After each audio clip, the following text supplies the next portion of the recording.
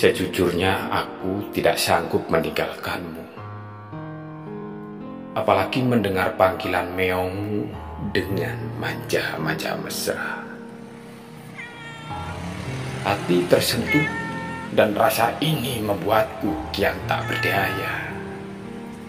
Berlinang air mata, desah lirih, meronta pedih.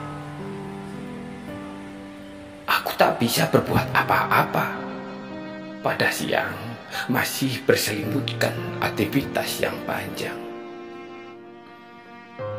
Maafkan aku ya bos. Lihat tuh, bosku sudah memanggil, mengajak pergi.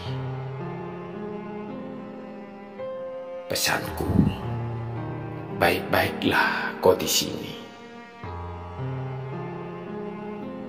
Jika kau setia menunggu, tunggulah aku kembali.